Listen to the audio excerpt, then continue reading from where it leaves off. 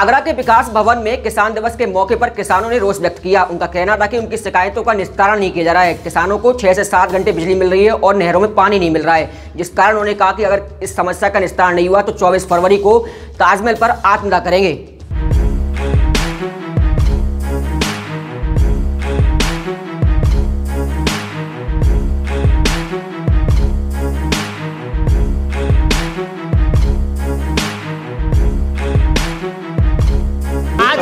दिवस लगा? जी। महोदय डेढ़ बजे सभागत में उपस्थित हुई। जी। जो किसान दिवस दो घंटे चलना चाहिए था वो केवल आधे घंटे में ही खाना पूर्ति हो गई। जो भ्रष्टाचार की आगरा जनपद में जो किसानों संबंधित विभाग में इतना चरम सीमा पर भ्रष्टाचार पहुँच गया मेरे ख्याल से विदेशों में भी नहीं होगा। सब अधिकारी अपना पेट भरने में लगे हैं। हमने वो पाँच सूत्री मांग पत्र दे दिया गया है। भ्रष्टाचारियों के खिलाफ एफ़ दर्ज हो उनके खिलाफ कार्रवाई अगर तीन दिन में नहीं किया जाता तो पूरे देश का मेहमान आगरा जनपद में ताजमहल देखने के लिए आ रहा है। तो उसके सामने किसान होंगे। वो किसान क्या करेंगे? या तो मरेंगे या न्याय मांगेंगे। क्योंकि इनको अभी तो कुछ होना चाहिए। क्योंकि कहते हैं भ्रष्टाचार मिटाएँगे। भ्रष्टाचार मिटाया नहीं जा रहा है। कमीशन और बढ़ाया जा रहा है। कमीशन की कोई सीमा नहीं रही। साहब जब ऊपर ही सब कुछ चल रहा है, काला पीला। तो नीचे के अधिकारी क्या करेंगे? नीचे के अधिकारी भी भ्रष्टाचार में लिप्त हैं। किसान दिवस था, आगरा के संजय प्लेस में, विकास भवन में।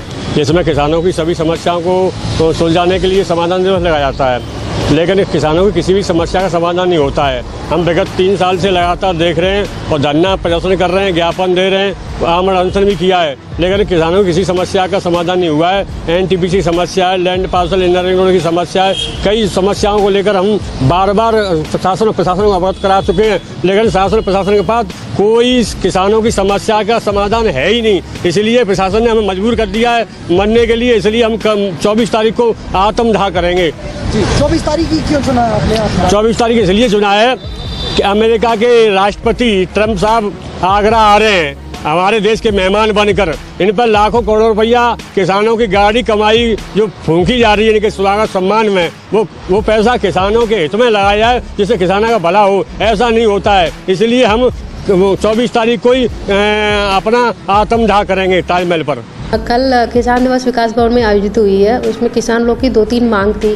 फॉर एग्ज़ाम्पल अब उन लोग का एक इम्पोर्टेंट मांग था, वो इनर रिंग रोड का मुआवजा को लेके और लेदर पार्क की मुआवजा को लेके।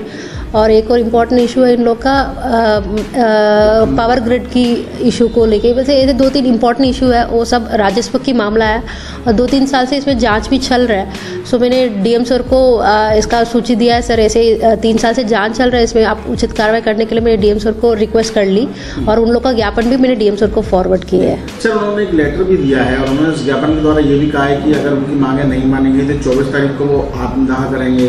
इस तरीके की बातें कर रहे हाँ, हैं का भी दोहरा है उसको यस हाँ उन्होंने दिया है वो मैंने डीएम सर को सूचित किए हैं और डीएम सर और एसएसपी सर के लेवल में उसमें उचित कार्रवाई करेंगे। लॉ एंड ऑर्डर कोई समस्या तो नहीं होना चाहिए। सो डीएम सर और एसएसपी सर की तरफ़ से उसमें उचित कार्रवाई तो क्या जो लोग आत्मदाह की धमकी दे रहे हैं इस तरीके से क्या उन पर कार्रवाई भी की जाएगी क्या? वो वो डीएम सर के लेवल में ही होगा बिकॉज़ ये मेरे विकास विभाग का मामला नहीं है उन लोगों का तीनों मामला रेवेन्यू की मामला है राजस्व की मामला है।